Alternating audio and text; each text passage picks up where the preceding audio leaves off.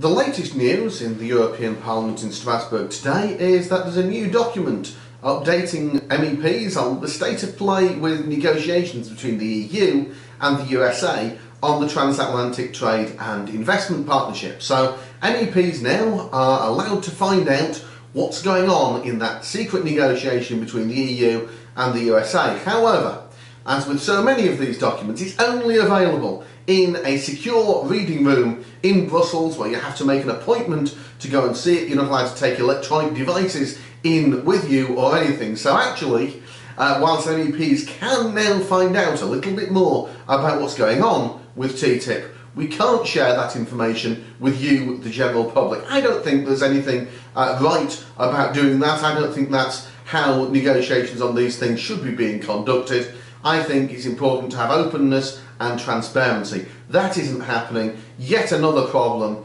with these disastrous TTIP negotiations, which are leading to things like the investor state dispute settlement, uh, which is going to be hugely, hugely damaging if companies are able to take the British government to court, and to the huge threat to our NHS in this country. And it could well be that our NHS has to be opened up to foreign competition. But who knows? How can we possibly know what's going to go on until maybe some MEPs go and visit that secure reading room and then can't tell you?